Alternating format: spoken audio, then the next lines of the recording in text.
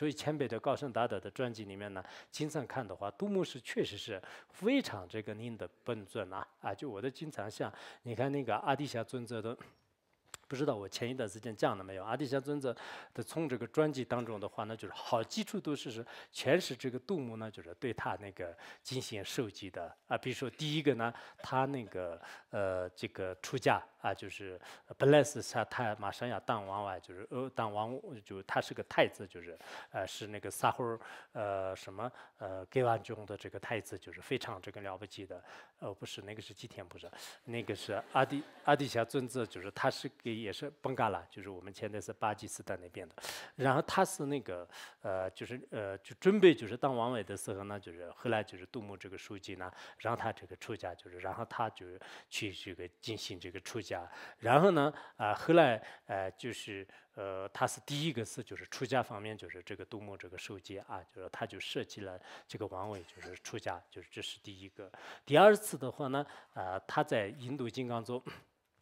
不是，呃，他就修很多法，就是有时候是转绕啊，有时候是呃这个辩论啊，等等等，形成很多的这个善法。但后来呢，呃，这个杜牧啊，就是杜牧的这个像，就是包括我们现在真觉他，就是那个印度金刚座的，你们超超拜过印度金刚座的人都会发现，就是都在那边有一个小小的这个杜牧像，就是他，因为阿阿底峡尊者当时在这边就是呃转绕的时候呢，啊，他先用那个呃，比如说这个用什么美女啊，用这个尿。去啊！这是我以前也是讲过很多次吧，就是这个宫啊，还有这个乞丐啊、老妇人啊等等，有对话的方式呢，就是对阿底峡尊者就是说，并且是在那个石头啊，就是在那个针灸塔上面的这个石头的这个像呢，啊，就开始这个呃，就是头往外就是看着，就是然后呢就开始对他这个收集，说是你真正从从那个呃阴底到这个过底啊，就是要这个从菩萨到。嗯，菩萨到到这个佛底的话呢，一定要这个修持这个菩提心，就是反反复复的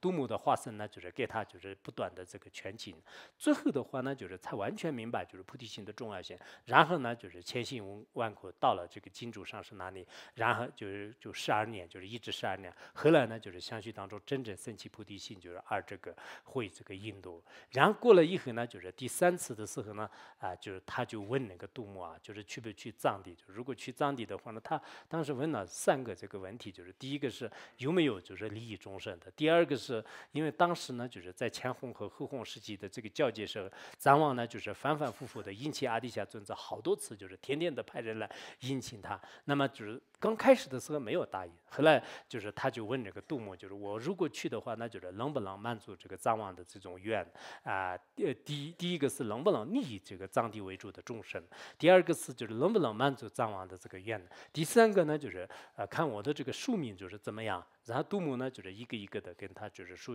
收集，就是说是你去了的话，那就是利益众生，就是说话众生是无量无边的，对众生是有利的。第二个问题就是张王这个呃一定会是就是非常欢喜的，而且呢，他的这个唯一的愿望就是弘扬这个大乘佛法，就是把后弘时期呢，就是真正就是成为这个呃佛国，就是有这样的目的，就是这个也是能实现的。但是唯一的最后一个，你的这个寿命的话，那就是本来可以活九十二岁，就是然后你如果藏地弘扬佛。法的话，那就是会这个减少减少这个四十呃，就是七十二七十二岁，就是二十年。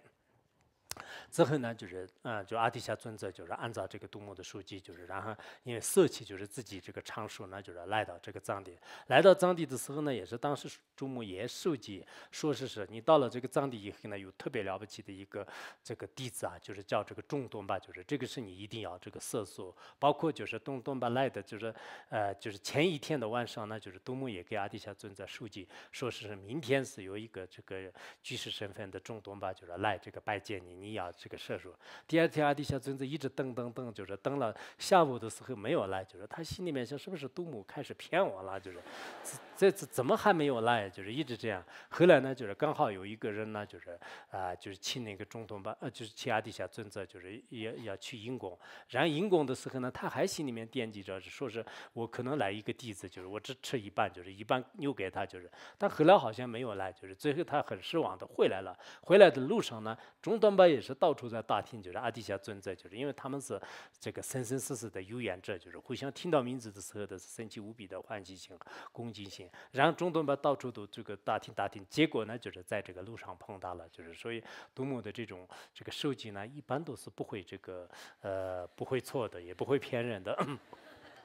啊，就是还有那个啊，阿底峡尊者不是在那个藏地呢，就是每天都是做那个擦擦，做那个擦擦的话呢，也是是杜牧是有关系的，因为他在那个南兰都是呃这个呃南兰都是就是当那个就是纠察使，就是官家，就是当官家，当官家的时候呢，当时有一个叫梅哲吧，就是在韩文里面叫这个刺史大师，刺史大师呢，其实一个很了不起的菩萨，他呢就是为了就是供这个护法和这个供苦行魔呢，就是在自己的这这个。住室里面就是在自己的卧室里面就是开始喝酒啊，结果阿底峡尊者就是发现了，就是官家发现了，然后呢就是马上在僧众当中宣布就是开除，宣布开除的时候呢，那个呃这个刺史刺史大师的话没有这个呃就是经过这个门，就是直接从这个墙壁上就是穿行就是而呃离开了，离开以后呢阿底峡尊者特别就是后悔，就是问那个杜牧就是看怎么办，我就开出一个大菩萨，就是呃就这次。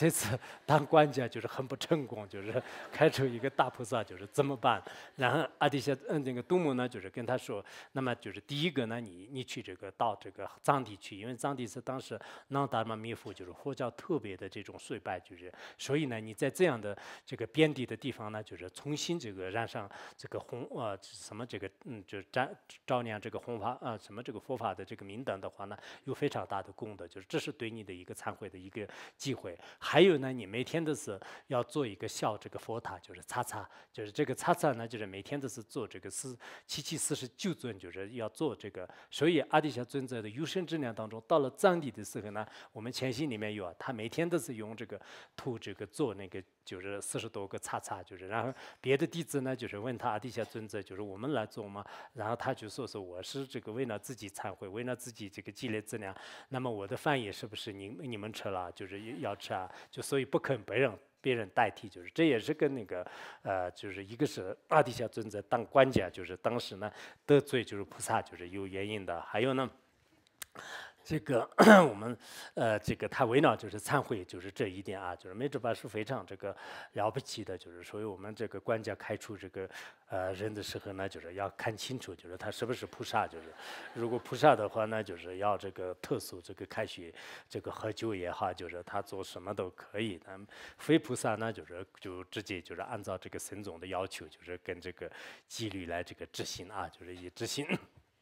所以我刚才不知道讲的什么，就是意思就是说呢，就是学这个杜牧啊，就是整个这个三界啊，就是三界当中的话呢，就是他是完全就是胜胜负的，就是我们好像以前那个学呃。呃，祭天菩萨的这个传记里面也是这样讲的吧？就是当时祭天菩萨是第二天要上那个呃这个国王的这个位置，然后晚上的时候呢，按照这个印度佛教式的观点的话，也是这样讲的。到晚上的时候呢，他就就呃就是梦到了这个呃什么。嗯，怎么说的？就是好像那个，就给他就是杜牧，就是用温水来，就是开始给他就是沐浴，沐浴沐浴的时候呢，就是他说是这个水好烫哦，就是很难受，就是，然后那个杜牧呢，就是告诉他，就是说是你那个呃现在的这样的这个水呢，就是不算就是特别烫，就是应该这个是不算特别烫，但是你明天以后呢，就是如果真的上了这个国王，上了国王你造的这个恶业，就是下一辈子堕地狱的时候，那个时候的水呢，就是比这个还。还烫就是